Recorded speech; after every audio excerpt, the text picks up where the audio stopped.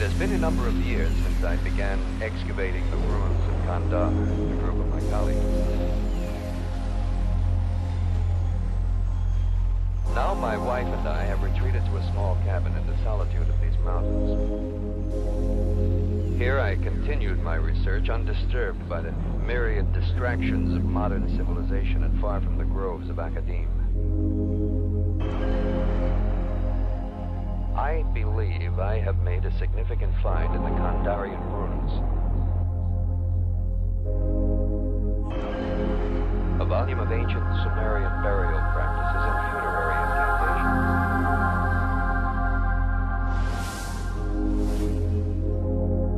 It is entitled Naturom Demonto, roughly translated, Book of the Dead. The book is bound in human flesh and